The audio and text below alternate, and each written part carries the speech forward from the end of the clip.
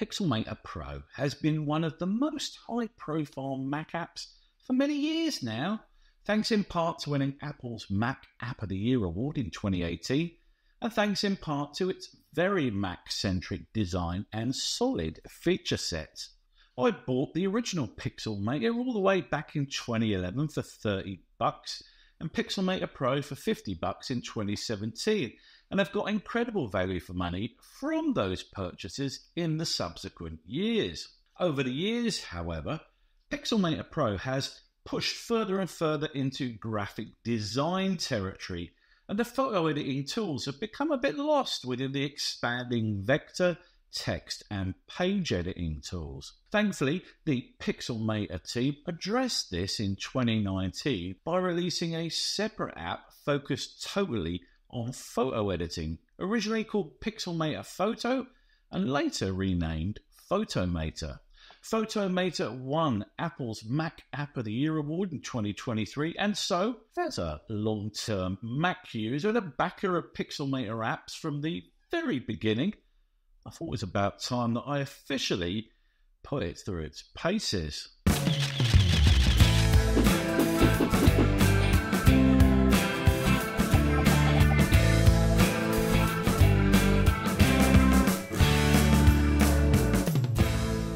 Photomator is a non destructive photo editor with a full raw demosaicing engine. It lacks features such as background removal that you can find in Pixelmator Pro because it is squarely focused on photo editing, not compositing or page layout. It currently supports RAW files for more than 650 cameras, everything from Canon 10Ds all the way through to Nikon Z9s. Notably, the app also supports both compressed and uncompressed Fuji RAW files, something some far more expensive editors do not. As a Fuji camera user myself, this is a welcome feature. Since this comes up regularly on my reviews of RAW editors, I should also point out that it will also edit Samsung RAW and Apple Pro RAW photos too, in HDR mode too, if your laptop or monitor supports it. So let's kick things off by talking about the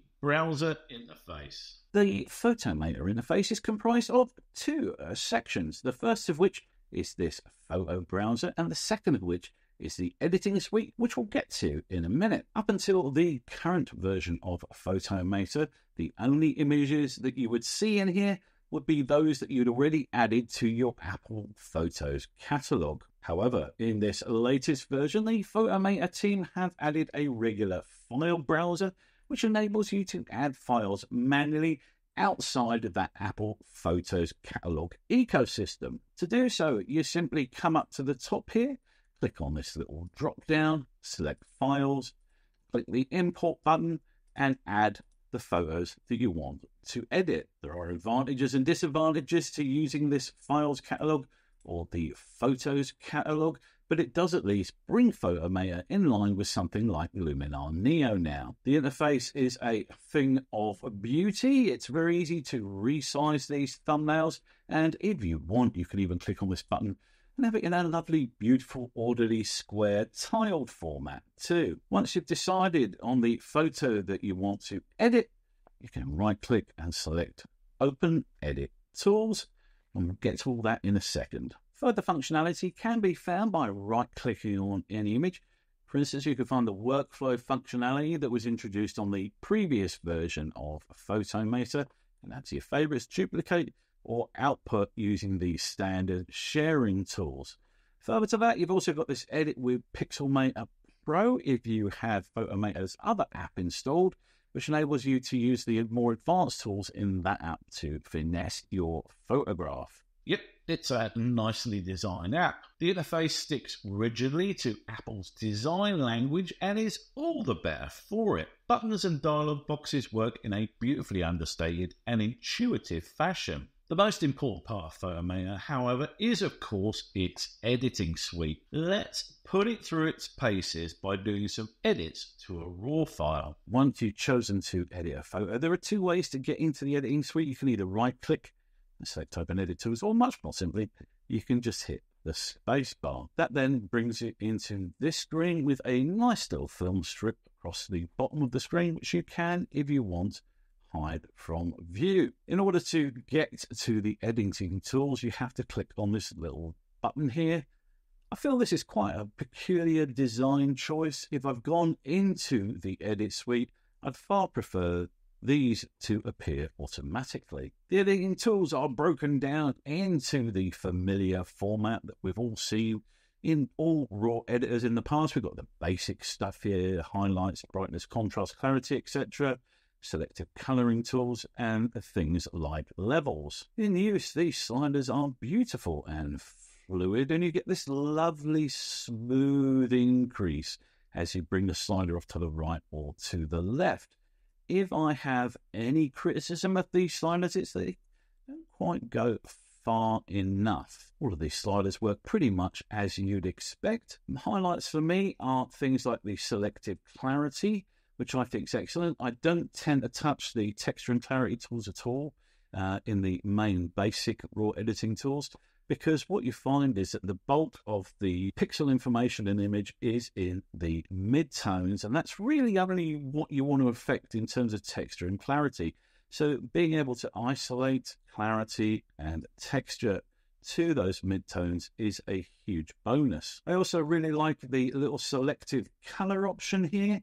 So you can click at broad color. Let's say we want to increase the saturation in the sky a bit and click on the blues here. You can see on this histogram that quite a portion of the image is in that blue part of the color spectrum, and we can then crank up the saturation just on that. The color balance tool is also quite neat. Let's say we wanted to warm up the highlight slightly. We can come here and just drag that over into the yellow section to just add some warmth to the highlights. And if we wanted to say cool off the shadows, then we can bring that down to the right here. We can also increase the saturation with these little sliders and the luminance levels with these ones. It's a really flexible tool. I found that using these sliders, it's possible to create very tasteful and subtle edits. The nature of this application is such that it encourages you to not go crazy. In that sense, it's kind of the polar opposite of Luminar Neo, where they throw everything, including the kitchen sink, into it and encourage you to have all sorts of wacky and strange effects. In many ways, this is much more of a purist's raw photo editor. So it's a beautifully designed app and it has a great raw editing toolset that can tastefully bring out the best in your smartphone or camera raw photos. Let's talk now about the bells and whistles, that extra functionality that photographers look for in editing apps in 2024. The Pixelmator team have been steadily rolling out new features in Photomator over the last four years, the most notable of which are the new file browser I mentioned earlier, full HDR support, smart debanding, batch workflows, AI masking, denoising, LUTs, and AI resizing. And let's kick things off by talking about the machine learning in Photomator, which I have to admit I have found extremely hit and miss. Sometimes it works really well, does a nice, subtle, and sensitive uh, set of adjustments to an image, and sometimes it, I don't know, it's just very peculiar. By way of testing, here's one of my photos of London, and there's the main ML button. Now, the difference between this and these, of course, is that this will use all of these various machine learning enabled adjustments, not just one of them. So let's hit the button and it's done a nice job in this case. Brought up the shadows very slightly, highlights too. It's increased the warmth. Now, this is actually the most sensible change of all because this is a very cold image, very blue. I mean, shot in midwinter, but it hasn't hurt at all to add a little bit of warmth to the photo, giving it 11% to the color temperature, which is something I would 100% have done myself. We've also got a little bit of a tweak to the contrast. It's lowered the black point slightly, which itself increases contrast. Got no tweaks to texture and clarity. It's cranked the vibrance up. Good on you, Photomator, because saturation, of course, affects global saturation levels. It affects all pixels in the image, no matter what the saturation value is, whereas vibrance just affects those pixels which are least saturated. So it's a much more sensitive, subtle way of making the image look a bit more colourful. What else have we got here? It's made some changes to the blue. It's added some brightness. It's brightened up the sky. Absolutely fair enough. And it's dropped the hue very, very slightly. It's also cooled off the highlights, tweaked the midtones, and the shadows made them slightly warm.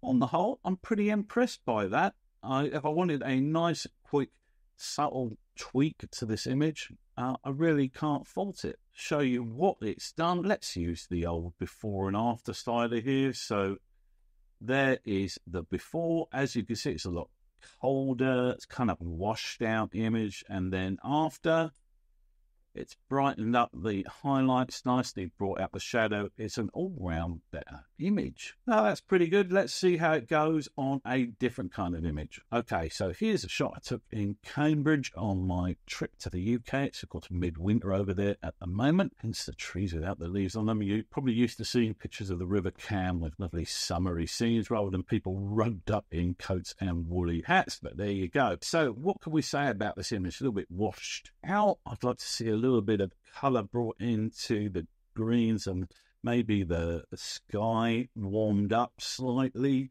Let's give it the old global machine learning and see what we get. And that's pretty disappointing. So let's see a before and after. Here's before, here's after. I suppose actually, no, it's increased sky brightness slightly, maybe a little bit bluer, but there's not a lot going on there. It's quite a dingy photo, isn't it? I've been inclined to increase the exposure quite substantially. We're up to what 100% there. And highlights, that's fine. I bring the sh- no, not shadows. Let's bring up the black point, get a bit of contrast going in there. Not super impressed with that at all. So as you can see, the old machine learning isn't a winner every single time. Yeah, the machine learning of Photomator is definitely a bit of a work in progress. My main issue with features such as machine learning buttons is that they can make beginner photographers think that the resulting settings are the best choice for an image when as I just demonstrated, that's often far from the truth. In Photomator's defense, most RAW editors do a substandard job with AI based adjustments. In fact, the only app that I can think of that gets it consistently right is Adobe Lightroom and its auto button. I did, of course, also put the rest of Photomator's features to the test, and here are my findings. The clone tool isn't great and cannot be relied upon for medium to large fixes. It seems to work in the same way as the old pre generative Photoshop clone tool and is only good for small stuff like dust spots. The repair tool works in the same way and is about as useful. The super resolution tool is excellent. It upscaled all of my test images from web size 2000 pixel to print size 6000 pixels with some of the cleanest AI resolution increases I've seen. Both Smart Denoise and Smart Deband are also excellent. The debanding tool can enhance photographs to give beautiful fall off on transitional color regions and add a degree of subtlety to shots with a high dynamic range and full looking histograms. The denoise tool is amongst the best I've used, up there in fact with Adobe Lightroom and Topaz Labs. It does a really great job on denoising complex scenes with varying levels of noise across the entire luminance range. The presets work about as well as presets work in any application, and if you primarily upload to Instagram, then they may prove useful. The layer system and automated sky background and subject masking tools work as well as those found in Lightroom Classic and can be finessed with nearly the same level of complexity too. Using layers, you can isolate edits in a beautifully granular way, enabling you to return to an edit and tweak as required thanks to the accompanying sidecar files. This particular feature has improved greatly since I last tested Photomator shortly after its release. The workflow tool is better designed than something like the automations in Photoshop. It's been constructed to work visually, enabling you to produce powerful batch processing rules for your photographs. The crop tool and its highly configurable grid overlay is excellent, but the machine learning crop isn't great and usually comes up with wacky and, frankly, useless cropping suggestions. HDR editing is incredibly useful if you shoot a lot of photos with a recent iPhone or other smartphone. Being able to edit in HDR and have both SDR and HDR edits is awesome. I must admit, I've been blown away by how far Photomator has come since its initial release for Mac a year ago. On the surface, it looks like a simple little editor, a basic photo processor for the kind of Mac user that might run a mile from the complexity of something like Lightroom. But the truth is that Photomator is crammed full of powerful, useful, and effective tools, and as I delve deeper and deeper into its feature set, I kept discovering one valuable tool after another. Above all, Photomator is a true Apple product, deeply embedded within the Mac OS system and perfectly suited to act as the interface between your photo library and the outside world. It can edit pretty much any raw file format you throw at it. It has superlative AI upscaling and noise removal tools.